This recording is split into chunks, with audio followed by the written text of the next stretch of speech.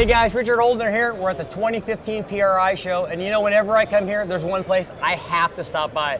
That's the CP Carrillo booth to see Bryce Mulvey, man. What's happening, Richard? How How's you doing today? That's Look, going good. You guys do a ton of cool stuff. I, I've seen your stuff, we've used your stuff, we know it's awesome, but there's something we're really excited about. It's this new bullet line. Yep. What do you got going on? The best thing about the new bullet line is we took everything that we learned in a custom piston and transferred into a shelf part. So you're going to get the best of both worlds. You're going to get a piston that was, you know, used in a pro stock, all the technology that you'd have in the Right. high-end NASCAR parts. That we've taken all those little secrets and bells and whistles and put them into a shelf part. So we let those guys pay for all the development, and now we got it off the shelf. Yeah, and but we don't, we don't have everything off on the shelf that fits every need, obviously. But You we have the major- we have the majority of the parts. And the cool thing about it is, is it's all made right here in the USA in Irvine, California, love that. where all our parts are made at. And the neat thing about a bullet thing part is that it's a net forging, so there's less machine work.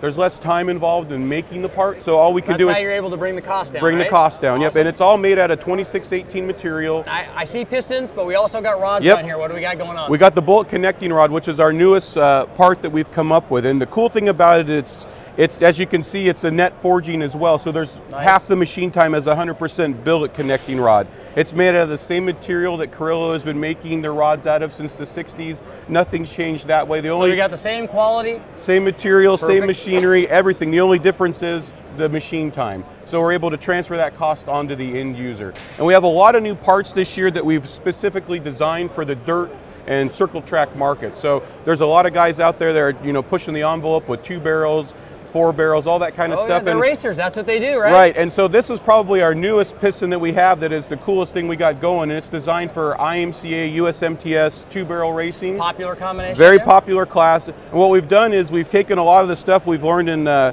the pro stock and super stock world Good. and transferred it over to this piston. So we've incorporated some pressure relief strut holes. We've lightened the piston up. So the cool thing about this is you're going to get a piston that's reliable for 650 horsepower, Nice. but the whole net package, pins, rings, everything, only weighs 550 grams. Oh, fantastic. So what we've done is we've taken all that, that, that stuff and try to make it user friendly and something that's readily available. You can call them up and order the parts. All the circle track parts that we have, we stock in 5,000 bore changes. So you know if you're going to only hone your block a little bit, you don't want to use make it that all. block last, right? You, do, and, and then in the racing world, you spend a lot of money on your blocks, all the machine work, and you want to make it last. So we've tried to do that with all the parts, and we've recently just par- partnered with uh, the USMTS USRA. So we're the official piston and connecting rod sponsor for them. fantastic. So they're going to be using all of our products and all their modifieds, all their stock cars, and and really it's neat for us because we've never really been in that market like we want to. Sure. And so we've done a, a lot of research, a lot of time in trying to develop parts that work perfect for that application. And I love the fact that you guys are taking